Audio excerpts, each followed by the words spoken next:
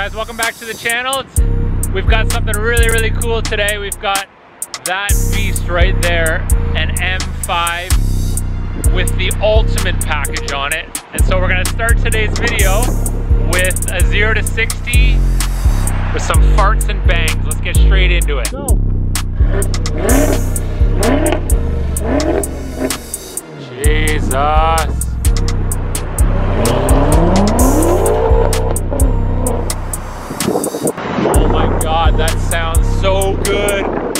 Engine as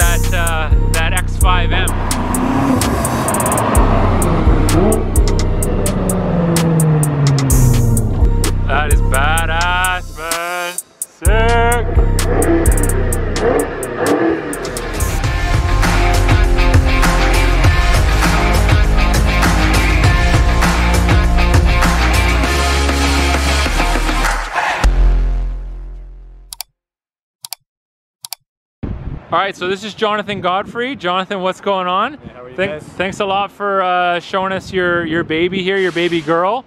Um, what can you tell us about the car? We've already heard the car, but what can you tell us about uh, about this specification of it? So this is a 2015 M5. It has the ultimate package. Um, it's got the upgraded carbon, ceramic brakes with the M, M titanium exhaust. Okay, nice. Let's take a little look see here. Yeah, so there's uh, brakes. Carbon ceramics on it. Make some noise, uh, but they stop really good. Yeah, for um, sure. What's what's the color of it? It's called black gray. It's actually a BMW individual color. Okay, sweet. Yeah, yeah. And then you got your black tints on there as well. We got the tinted windows. Really good. Um, Any idea what the weight of this is? Just comparable to the to the six thousand pound X5M there. I would say it's got to be like in uh, mid to high 4,000 pounds. Okay. Okay. Uh, Yowzers. So yeah, but uh, it's got 560 horsepower, I believe, and 500 foot-pound torque. So it does. Uh, Five it's not a big five sixty. Yeah, five so it goes. Yeah, puts the power down pretty quick, eh? Um, Oh man, everyone's leaving at the same time, eh? Watch your back. No joke. No joke. even with the rear-wheel drive, it, it hooks up pretty good. It's got 295s on the back. Yeah. Um, yeah, does zero to 60 in uh, 3.7 seconds. Zero to 60, 3.7 with rear-wheel drive. Yeah, with the rear-wheel drive. So I guess the new That's like- all-wheel drive is what? Three and a Uh, half, 3.2. Yeah, so for the normal one, it's about uh, three and a half, and for the comp, I believe it's like 3.1. That's insane. 2020s. And so these quad exhausts, is that a is that a titanium sports That's a- exhaust? yeah, full M titanium exhaust. Full M, just like the M4. The M4 was wrapped in carbon fiber, but I believe it had the titanium underneath, Yeah, right? Yeah, of course. These are nice. These yeah, are really titanium nice. gives it a really good sound, especially with the twin turbo. yeah, we heard that. M5 badging, something special. It's a little bit dirty now, but Yeah, that's all right. It's all right. It's just just the price you pay for living in Toronto, living in Canada with it. Looks really, really good. thanks. Um, what do you think? You want to jump in it and go for a little boot? Go for a spin. All right. All right. So just a just a quick little sort of B-roll shot of the interior. So it's got the full extended uh, leather for the dash, Extended Um, leather. and it's got uh, the M embroidered into this into the headliner on the seats. Yeah, yeah, that looks see. really good. The X5 had that as well. Yeah, um, This is, looks a little bit more plush with this extra piece here. though. Yeah, it- really good. it's it's very good on turns. These things hug you. Uh, it doesn't let you go anywhere. Very good. The back seat's pretty usable. Oh yeah, and they're heated too. Yeah, heated seats in the back as well. Very nice. It's got the upgraded uh, sound system as well. So Yeah, when I started up, you could see. Let's take a look at that. up. Look at that. That's a really nice feature. I think the X5 had Harman Yeah. Kardon. This is Harman Bang Kardon, yeah. Olufsen.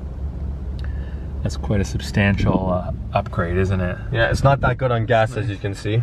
Yeah, you're always you're living at the gas Yeah, station in this exactly. thing. All right, sick. Let's see what she can do.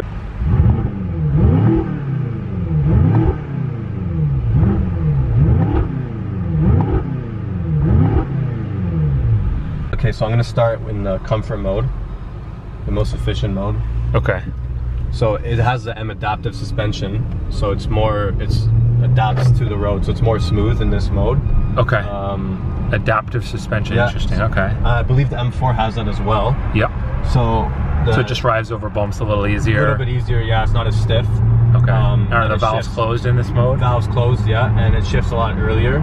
Yeah. Um, it's just a lot easier to drive. The steering wheel gets a little bit looser. It's not as it's not as uh, the throttle's not as sensitive. Okay. Okay, cool. So yeah, it's still still got lots of power in this mode. Just uh, when you put in the sport mode, it really opens everything up. So this is more when you got the family, when you got the wife Exactly. or something in there. Yeah. She, she doesn't want to hear all the bangs and the Yeah, exactly. the cool thing with this car is it's like um, it can be a very low-key 5 Series car when you want it to be and just drive it as like a business car. Yeah. And then when you really want to put it in the M2 mode, you can customize all your settings. Yeah, And the thing just turns into a completely different That's type of beast. amazing, eh? Like Dr. Jekyll and Mr. Hyde. Yeah. It's like split It's personality. like also in the in the efficient mode, it actually uh, I don't like it personally, so I turn it off. But it, it will turn like the car can shut off. Uh, it's Oh, like okay, at the stop, start. and then the second you let your foot off the brake, it turns back on again. yeah. My wife's Audi Q5 has that. Q3 has that. I can't stand it. I turn it off as I- it's as I off. I did, yeah, I set it right away to be off because uh, Yeah. it drives me crazy, especially if you're in traffic. Yeah. It's just on, and off, Yeah. on, off all the time. Exactly. I'll uh, put it in sport mode here. Okay. So it's just one button on the steering wheel. Okay, sweet. There's, uh, there's M1 and then there's M2. So M2 is a customized setting. it's just programmed for and you. then I got that full heads-up M display uh, that turns that turns in everything's a lot bigger, so I can see the RPMs and speed. Does the heads up uh, go away when you're inefficient? Or is it Uh, and no, it just gets a lot smaller. It doesn't show you the RPM. It also has shifting points, so it tells me it goes from green, yellow to red, so it tells me when to okay. shift. Okay. Oh, nice, nice. Yeah. That's huge. That's amazing. I'll give you a little uh, pull here Yeah. after this car. Oh, she wants to go. And the back end just swings out, especially when it's only She like wants 15 to- degrees out. She wants to get squirrely Oh, yeah. so quickly. That's crazy. Yeah, it's uh, turns into a whole other beast in this mode. Yeah. I never really uh, turned the traction control fully off. The, the cool thing I like about the BMWs is they have like the medium traction mode. Okay. So it's half half traction on, and then it kind of gives a little bit more loosen up. Yeah, so yeah. It kind of will save you from wrapping around a pole. Because full, full traction off, it uh, this car is pretty scary. It's dangerous. Yeah, eh? oh, yeah. yeah. Yeah, yeah, We might have a little open road here. Okay, let's see what she can do. There we go.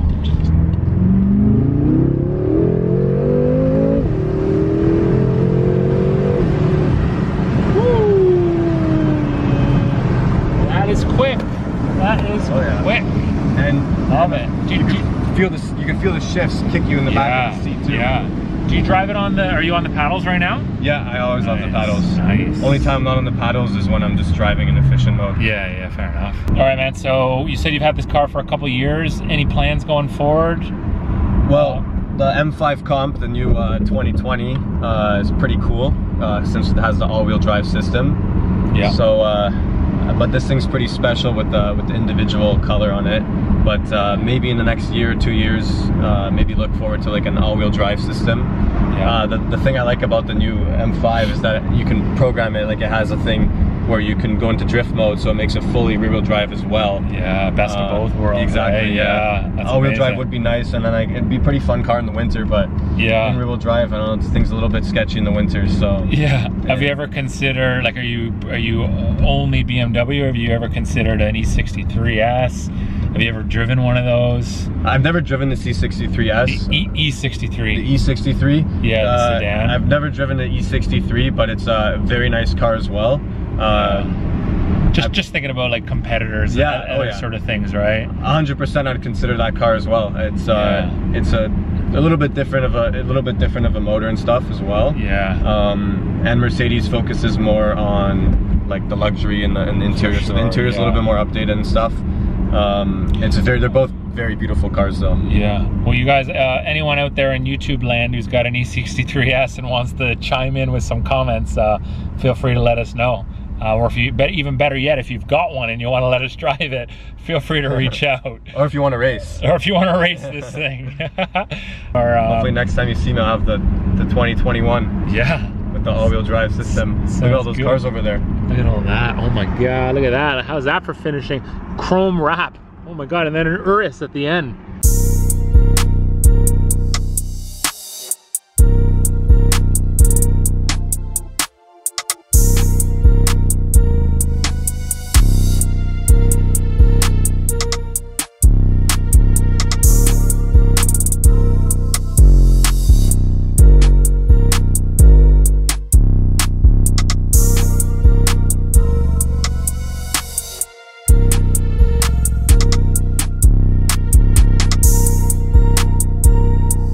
On that note, boys, if you haven't uh, subscribed yet, Subscribe to the channel. subscribe to that channel, listen to Jonathan, and smash that like button, and we'll see you in the next video. See you guys.